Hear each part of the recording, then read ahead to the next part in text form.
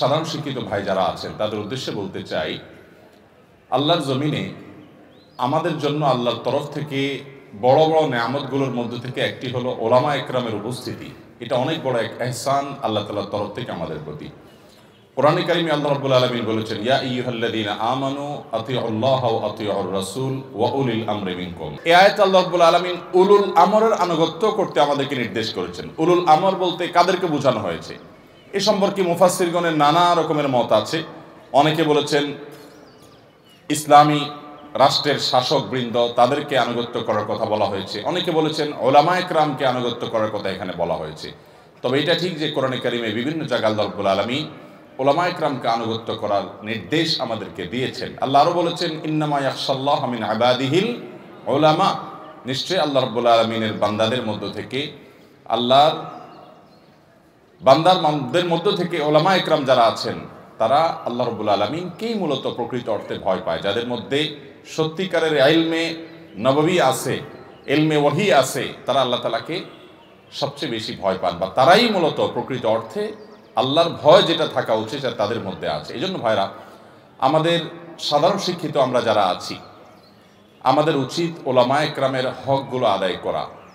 কেয়ামতের ময়দানে শুধুমাত্র হুকুক সম্পর্কে জিজ্ঞাসাবাদ করা হবে। সেটা আল্লাহর হক হোক কিংবা বান্দার হক হোক।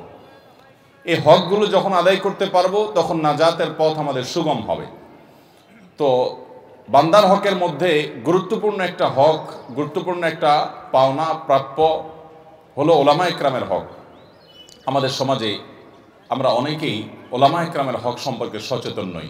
তাদের যে তাদের যে অধিকার আছে সেগুলো সম্পর্কে আমরা অনেকেই ওয়াকিফাল না। যার কারণে ওলামা একরামের হক আমরা আদায় করতে পারি না। ওলামাদের হক কি? সর্বপ্রথম হক হলো, সবচেয়ে বড় তাদের পাওনা হলো যে তাদের মর্যাদা, তাদের সম্মান, তাদের যে ইজ্জত করোনা হাদিসে দেয়া হয়েছে, সেটা একজন অন্ত, একজন ইমানদারের অন্তরে ধারণ করতে হবে, লালন করতে হবে। আমাদের সমাজে অনেক মানুষ দেখবেন ব্যক্তিগতভাবে দিন প্র্যাকটিস করেন। ব্যক্তিগতভাবে দিন পালন করেন। উনি নামাজি কালামী মানুষ। কিন্তু ওলামা একরামের প্রতি ভালোবাসার ঘাটতি আছে, দুর্বলতা আছে। তিনি যত নামাজি কালামী হোক না কেন, তিনি যত রোজাদার, নফল আমলকারী হন না কেন ওলামা একরামের প্রতি এহতেরাম বা ইজ্জতের যদি তার ঘাটতি থাকে, তাহলে এটা তার দিনদারিতার মধ্যে ঘাটতি। কারণ ওলামা একরামকে সম্মান করা, এটা নবী সাল্লাহ নির্দেশ। তিনি বলেছেন লাইসামিন নামাল্লাম ইয়ারিফ লে আলমিনা হাক্কা যে ব্যক্তি আমাদের এই উম্মতের আলেমদের অধিকার এবং মর্যাদা সম্পর্কে জানলো না, সে আমার উম্মতই না। সেই সাথে ওলামাদের দ্বিতীয় হক হলো তাদের ইত্তেবা এবং অনুকরণ অনুসরণ করা। ওলামা ইকরামকে আল্লাহ তালা দিয়েছেন, তারা নবীর ওয়ারিস হিসাবে কোরআন এবং হাদিসকে ব্যাখ্যা করে, বিশ্লেষণ করে আমাদের সামনে উপস্থাপন করবেন। তাদের ইজতেহাদ, তাদের ব্যাখ্যা, তাদের বিশ্লেষণ এবং কোরআন এবং হাদিসের আলোকে যতক্ষণ পর্যন্ত তারা গাইডলাইন করবেন আমাদেরকে, ততক্ষণ পর্যন্ত আমরা সেই গাইডলাইন গ্রহণ করব। আল্লাহ আমাদেরকে সেই তৌফিক দান করুন। মনে রাখতে হবে যে এখানে ওলামা একরাম যা বলবেন সেটা অন্ধভাবে মেনে নিতে বলা হয়নি। বলা হয়েছে তারা কোরআন এবং হাদিসের আলোকে যতক্ষণ পর্যন্ত আমাদেরকে পথ দেখাবেন, ততক্ষণ পর্যন্ত সেই পথ দেখানোটা আমরা গ্রহণ করব। আমাদের সমাজে এক্ষেত্রে প্রান্তিকতা দেখা যায়। এক শ্রেণি মানুষ আছে, যারা মনে করেন আলেমদের কোনো প্রয়োজন নেই। নিজেরা বাংলায় বা অন্যান্য ভাষায় কোরআন হাদিসের টেক্সটগুলো পড়ে তারা নিজেদের মতো ব্যাখ্যা করে তারা মনে করেন যে দিন পালনের জন্য যথেষ্ট।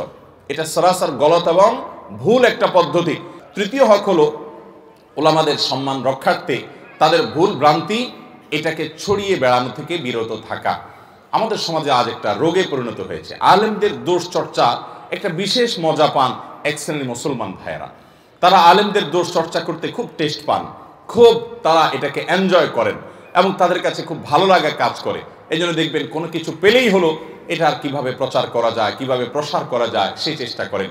ওলামাদের দোষ চর্চা করে বেড়ানো, এটা রীতিমতো চর্চা করে বেড়ানো এক জিনিস, দোষ ধরা পড়েছে সেটাকে নিজে, সেটা থেকে দূরে থাকা এবং সেটা জেনে তার কাছ থেকে এইরকম কোনো কিছু আর গ্রহণ না করে, এটা আরেক জিনিস। অতএব আমরা দুইটাকে যেন গুলিয়ে না ফেলি। চার নম্বর এবং সর্বশেষ যে পয়েন্টটা বলতে চাই, তা হলো ওলামাদের সোহবত লাগবে, সান্নিধ্য লাগবে। আজকে অনলাইনের এই যুগে সান্নিধ্য ছাড়া দিন নেওয়ার সুযোগ আছে। এই জন্য আমরা সান্নিধ্যর গুরুত্ব একেবারেই উড়িয়ে দেই, অথচ সান্নিধ্যটা অনেক বেশি গুরুত্ব গুরুত্বপূর্ণ। এমনকি আমরা যারা নতুন ফারেক হচ্ছি, তাখারুজ আমাদের নতুন হচ্ছে, ফাজিল কামিল শেষ হচ্ছে, দাওরা শেষ হচ্ছে, সে সমস্ত ভাইদেরকে আমরা আকুল আবেদন করব। সিনিয়র ওলামা একরামদের সান্নিধ্য এটা আপনার জন্য অনেক মস্ত বড় নেয়ামত। বিভিন্ন গোমরা ফেরকার খপ্পর থেকে বাঁচার জন্য ওলামা একরামের সোবত সান্নিধ্যের কোনো বিকল্প নাই। সকল যুগের জন্য এটা অত্যন্ত ইম্পর্টেন্ট এবং জরুরি একটি বিষয়। আল্লাহ রবুল আলমী ওলামা একরামের হকগুলো আমাদেরকে আদায় করার তৌফিক দান করুন। আবারও সেই প্রথম কথাটি আমি পুনরুক্ত করছি। আল্লাহ রব্বুল আলমীর তরফ থেকে যত নেয়ামত আছে ভাইরা, এর ভিতরে হক্কানি ওলামা একরাম আমাদের জন্য অনেক বড় নেয়ামত। এখন কথা হলো হক্কানি ওলামা চিনবেন কীভাবে? কারা? আল্লাহ তালার নৈকট্যপ্রাপ্ত আলেম। কাদের অনুসরণ আমাদের করা উচিত? তো এর জন্য আমি প্রায় সময় বলি যে আপনি ওলামাদেরকে চেনার জন্য কয়েকটা মার্কার কথা আমরা বলার চেষ্টা করি। প্রথম হলো যে আলেম কোরআন এবং হাদিসের কথা বলবেন। কোরআন, হাদিসের আলোকে বিভিন্ন ঘটনা, দৃষ্টান্ত, উপমা, শিক্ষা দিবেন, কিন্তু তার মূলে থাকবে কোরআন এবং সুন্নার টেক্সট। কোরআন এবং সুন্নার আলো, তার তাকে আপনি পাবেন। এটা হলো তার আলেমে দিন হওয়ার, আল্লামুখী আলেম হওয়ার, অনুসরণীয় আলেম হওয়ার প্রথম শর্ত। দ্বিতীয়ত তিনি যা বলবেন সেটা নিজের মধ্যে আমল থাকতে হবে। তিনি যা বলবেন সেটা নিজে আমল করবেন। শুধু ওয়াজ করবেন, নিজের মধ্যে আমল থাকবে না। এটা কোনো আল্লাহওয়ালা আলেমের মার্কা হতে পারে না, শান হতে পারে না।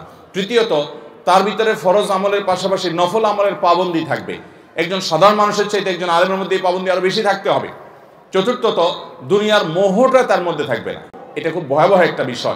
দুনিয়ার জন্য চেষ্টা করা এক জিনিস, মোহ থাকা আরেক জিনিস। অতএব এ সমস্ত বিষয় আসলে দেখে আমরা আল্লাহওয়ালা ওলামা ইকরাম যারা আছেন, আখেরাতমুখী ওলামা ইকরাম যারা আছেন, ওলামায় হক্কানি যারা আছেন, আমরা সে সমস্ত হক এবং সত্যপন্থী ওলামাদের অনুসরণ অনুকরণ করব, তাদের মহব্বত করব, তাদের হক আদায় করব এবং নিজের দলীয় এবং গণ্ডিগত চিন্তার বাইরে গিয়ে ওলামাদেরকে আমরা শ্রদ্ধা করব ইহতরাম করব এবং তাদের সমস্ত হুকুকগুলো আদায় করব। আল্লাহ আমাদের সবাইকে সেই তৌফিক দান করুন।